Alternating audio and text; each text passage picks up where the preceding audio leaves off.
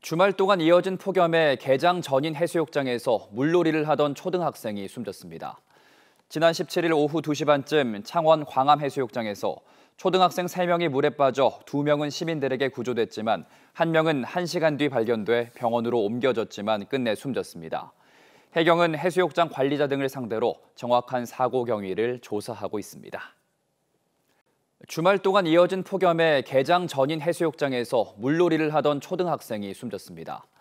지난 17일 오후 2시 반쯤 창원 광암 해수욕장에서 초등학생 3명이 물에 빠져 2명은 시민들에게 구조됐지만 1명은 1시간 뒤 발견돼 병원으로 옮겨졌지만 끝내 숨졌습니다.